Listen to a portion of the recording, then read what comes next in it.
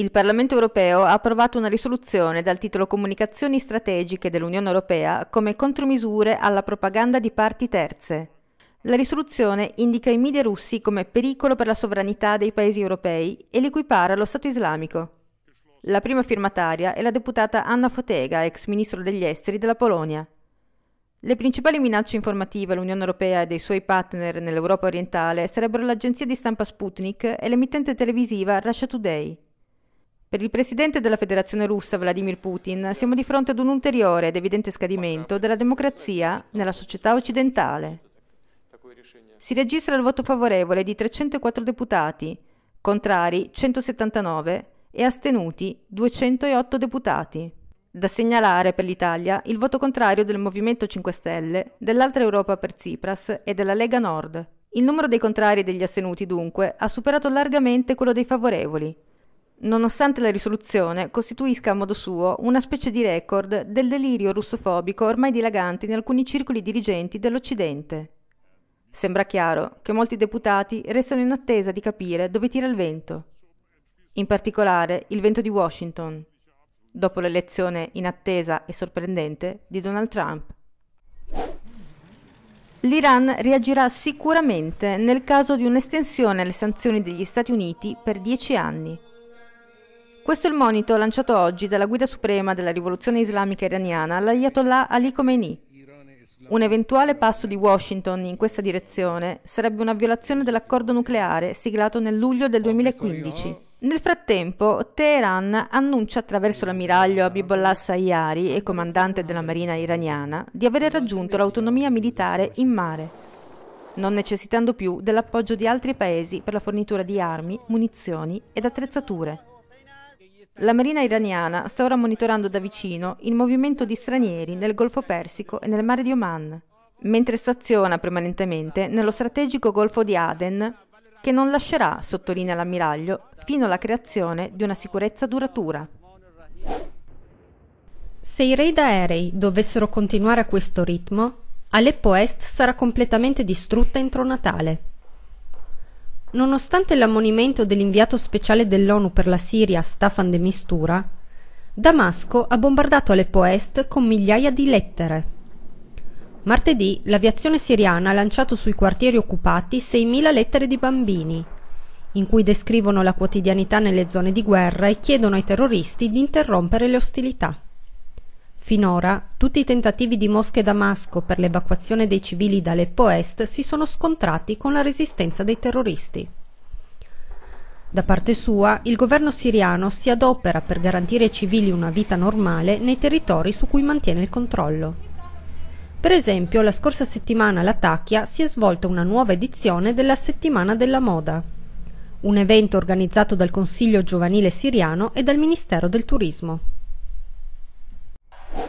Donald Trump ha dichiarato che Nigel Farage, leader degli UKIP, potrebbe svolgere un ottimo lavoro come ambasciatore negli Stati Uniti.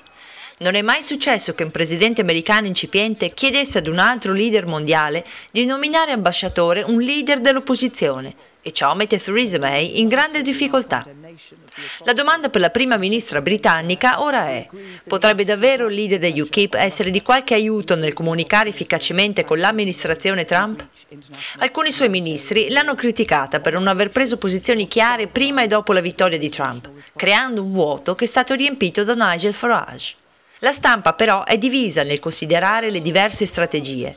Il temperamento esuberante di Farage, per usare un eufemismo, è risaputo, nonché la sua forte determinazione nel perseguire i propri scopi. Tutte caratteristiche che lo potrebbero escludere in nome di una preferibile quieta diplomazia. Dall'altra parte però il neopresidente statunitense è a sua volta una personalità strabordante e l'amicizia personale fra i due potrebbe risultare strategicamente utile ai paesi che rappresentano. Intanto Downing Street commenta seccamente che un ambasciatore britannico in USA c'è già e sarà in carica fino al 2020. Farage o no, come avverte il Telegraph, per il governo May trattare con l'amministrazione Trump non sarà cosa facile. I due militari russi, Maxim Modintsov ed Alexander Baranov, arrestati dai servizi di sicurezza ucraini in Crimea al valico di frontiera con Gar, sono ancora in stato di fermo in Ucraina. Il tribunale di Nikolaev ne ha convalidato l'arresto per due mesi con l'accusa di diserzione, in quanto ex soldati dell'esercito ucraino. Ma nonostante la Corte abbia stabilito la possibilità di rilascio su cauzione, l'SBU intende contestare tale decisione e ricorrere in appello. Per il ministro degli esteri russo Sergei Lavrov si tratta di una provocazione illegale. Sarcastico quanto polemico il commento della Duma. Invece di implementare gli accordi di Minsk, Kiev si dà ai rapimenti. Facebook sbarca nel mercato dei servizi finanziari. La banca centrale irlandese ha concesso le necessarie licenze all'azienda di Zuckerberg, che potrà operare all'interno di tutta l'area euro.